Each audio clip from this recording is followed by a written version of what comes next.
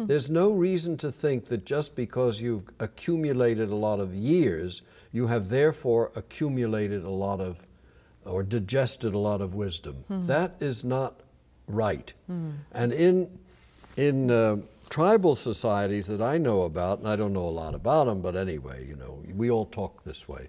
In tribal societies, it's not the age, it's the initiations. Uh-huh. In other words, have you been through it? Have you risked? Have you been cut? Have you been have you gone through the the mm-hmm. storm? Mm-hmm. That's what makes you an elder, and you can be an elder at 25 ah. because you've been through the initiations. Mm-hmm. Now, in a culture such as ours, where do we get initiated? We don't. Hmm. We just grow old. And the initiations, uh,